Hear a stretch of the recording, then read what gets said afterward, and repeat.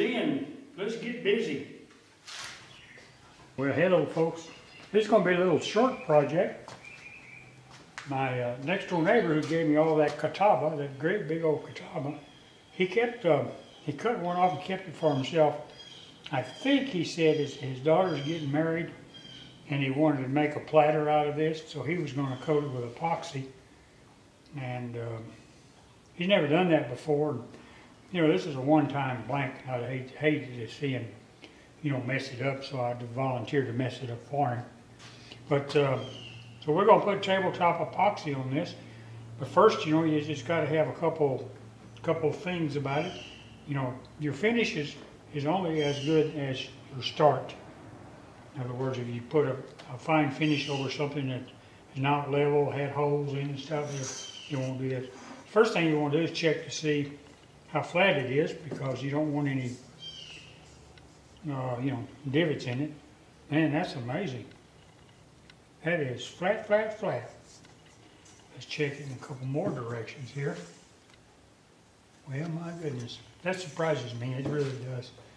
All right, he's got a dippity do right there, but it's not very much. And a little one right, right here in the center, I'd say it's probably a sixteenth at the most. So, uh, that's not gonna be an issue then. I thought I was gonna have to like glue a glue block on the backside and flatten it out for him, but I'm not going to. Don't need to. Uh, I'm gonna fix that hole in it. So right first there. thing I'm gonna do is, you know, you got a couple of places here, like that piece right there. It's got a crack right there, and that one's got a crack right there. Now the epoxy's gonna get in there, but uh, I'm gonna fix them this way first anyway. This one, I don't know how deep it goes, I don't. Let me look at the backside real quick here. Yeah, it goes almost, it goes all the way through, see, so that'd be a place for all the epoxy to leak out. So it definitely gotta be fixed. So let's put a little bit of um, CA in the hole first.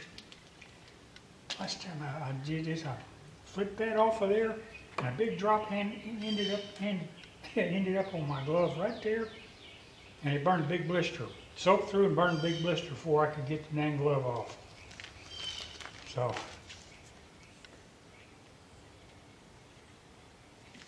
This stuff will burn you, my friends.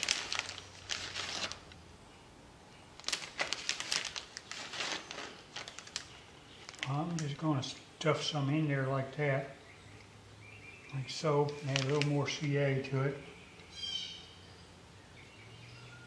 Make sure it's all soaked, you know.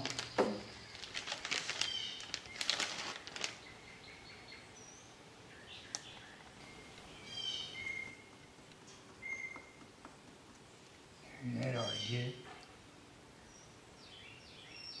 All right, now. I'm gonna use some different one on, on those two cracks because this is too, this is too coarse. I got a big wall of different shavings over there. Uh, collecting, I collect them in bags and I got them on the wall there so I can pick up one. But I started that when I first started turning. And I thought it really made a difference, you know, to get the exact same stuff in, but it doesn't. It does not, my friends, it does not.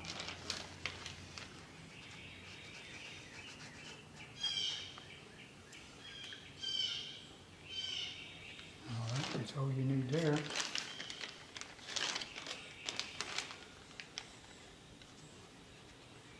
If I was gonna turn this, I would have to come in here and put some CA on around the bark. But I, I'm not gonna turn it, so I'm not gonna have to. All right, so that ought to get that. And I just wanted places where it wouldn't be running out, you know?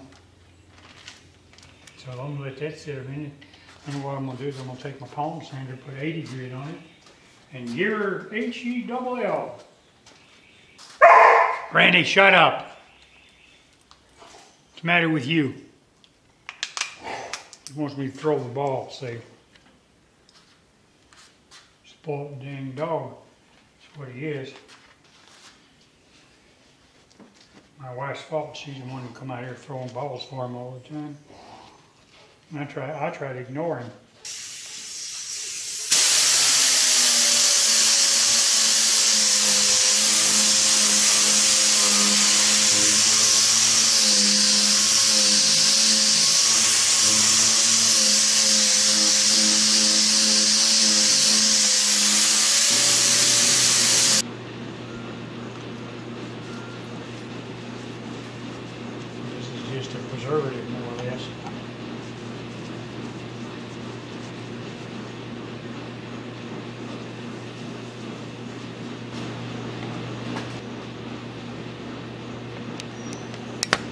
All right, In here in my office now.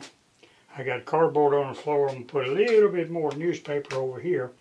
But the main thing I wanted to say is that this has to be as level as possible in both directions.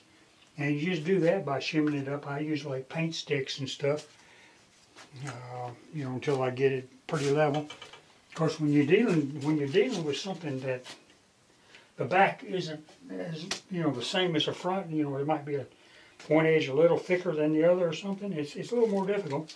But I got it close. I'm just maybe a just a little off right there, but this way I'm perfect. And I don't think I'm going to get it much better than that. I'm going to try one more little thing here. And you have to be careful because you, you know, this one may upset that one. So I'm going to put just a little bit. Maybe I'm getting a little too picky. I don't know. It don't look like it changed it none. Did I knock the other one out or something? No? Where are we now? Well, let me try another one.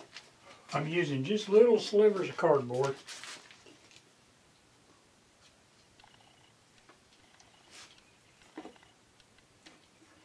Well, it still ain't there. How I come? Oh, heck, I'm too high now.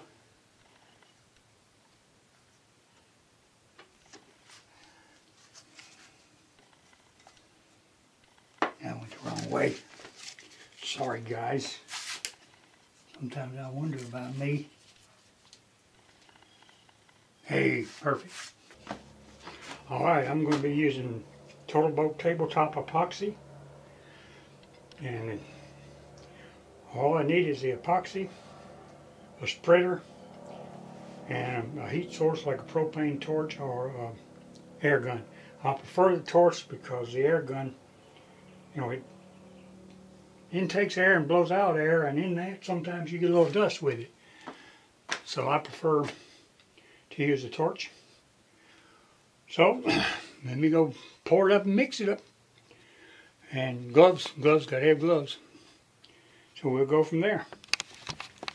Okay, I've just about got it mixed up. There it is, and probably way too much, but I'll put a little color to rest and put it in my pen blank, so it ain't no big deal. I don't waste it. They say to turn it, I mean turn it. Start real slow so you don't get no bubbles in it, but I found that almost impossible to do. And you notice it's really like thick. So that, you know, that lets it spread out pretty good. I believe that's got it. I've already moved it from cup to cup. That's what you, what you, what you're supposed to do.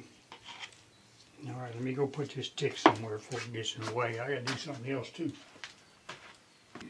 All right, I did forget one thing. You're gonna need a brush because you wanna work it into the bark all the way around when it runs over. So let's do it. Let's just do it. Just do it. It don't get done by itself, does it? Pour it in the middle. Ooh, Betsy. And take your spreader and move it from the middle out to the edges.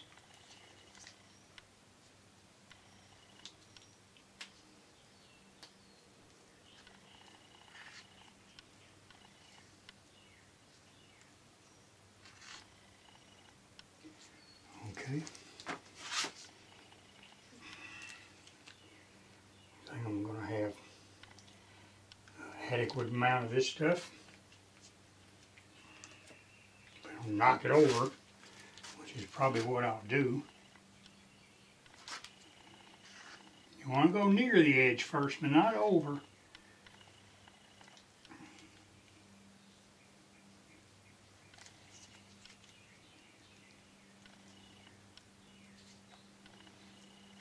All right, I'm going to have to pull some more. Looks like maybe I didn't get too much after. All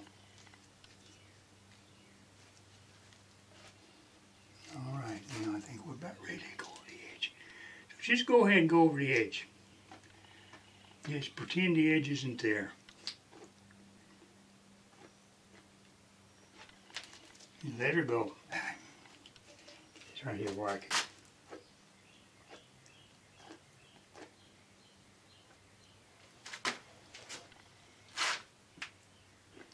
This will definitely secure the bark. Uh oh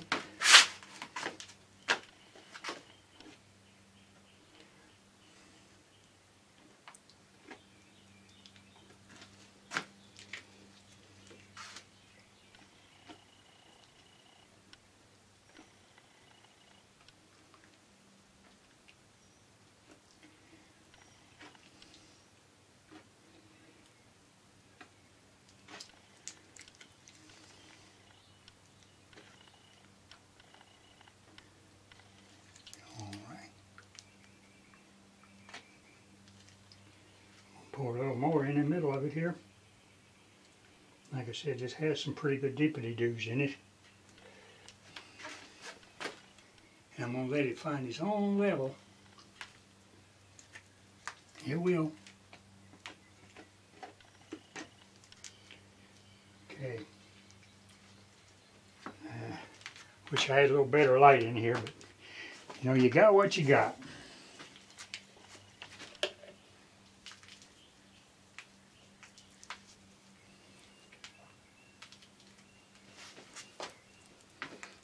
You got a smooth edge, you, know, it, it'll just cover it, and all you have to do is brush it out.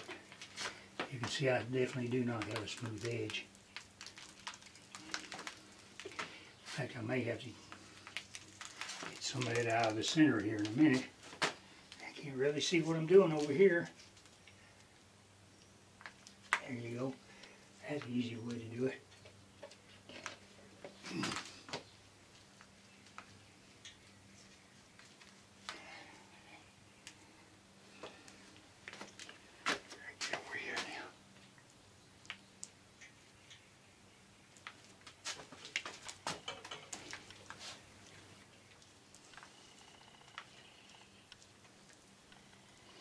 You know what? I just happened to get lucky with this and got looks like I got just the right amount.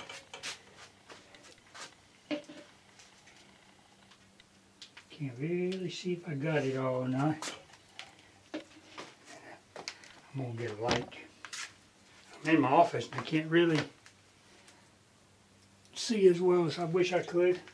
Where do my brush? Oh, there it is.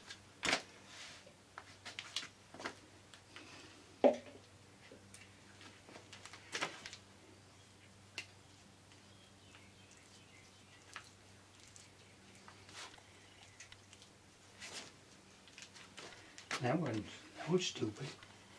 I don't care how hard you try, you end up getting epoxy on something. Alright, you just take a propane torch now. What you do is just sort of like go over. You can see it when you go over it.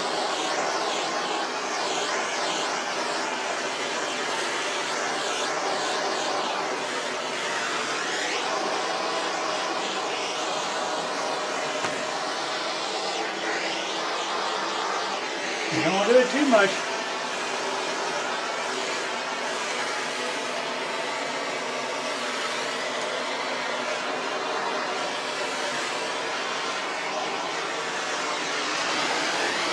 To look at an angle. I think that looks good. We'll come back in a little while and you can probably do that for about 20 minutes. So you gotta come back and check it once in a while for a while anyway. Make sure you don't have any bubbles pop up. Looks like I see a couple right here. There's a little bitty couple right there. Sometimes they'll gas all by themselves, and sometimes they won't.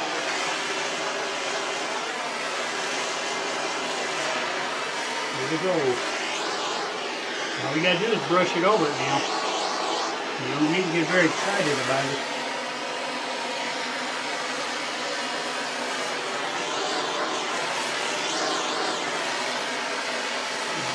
Him. I don't see more. Sometimes that's bit hard to see, especially when you got the real good light like I got. Imagine you just come around and just take like a paint stick or something. It's probably gonna do it some more, but I always just sand these off afterwards. Some people wait until it gets just right, and then they try to cut them off. But what I found was nine out of ten times I screw up when I try to cut them off. And uh, make a bigger mess than what I wanted.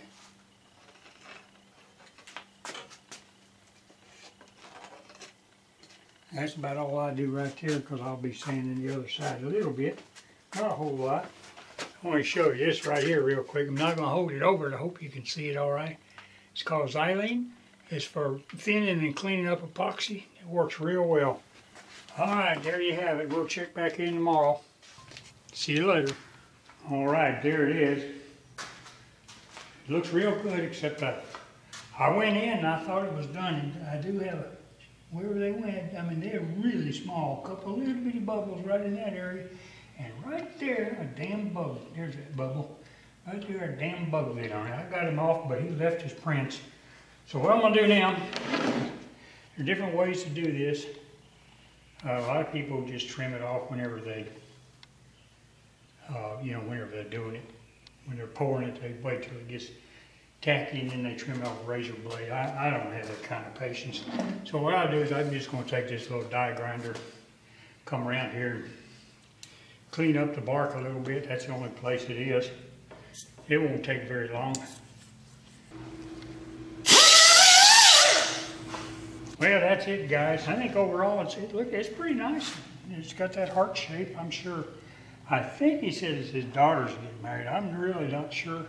But whoever it is, they will enjoy it. Very unique, very different. That's how big that uh, catawba wood is, right there. I have never, I haven't measured this. Let me see what we got going here. And we've got 23 and a half inches. That's a pretty good sized piece of wood, guys. Well, anyway, that's it. Thanks for watching. And, uh, you know, subscribe, give me a like, tell your friends, call your mama. Here's my next project right here. Yeah. This is a piece of pecan a friend of mine gave me. I'm going to make a big old goblet out of it, end grain wise. It'll be my next project. See you later.